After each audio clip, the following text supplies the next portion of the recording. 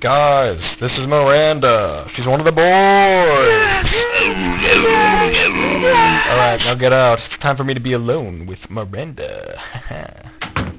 I hate you! I fucking hate you! Three, two, one, go. What the fuck? What do you mean, what? You just hit me with a fucking table, dude. Are you actually mad at me right now? Yes, I'm mad. Why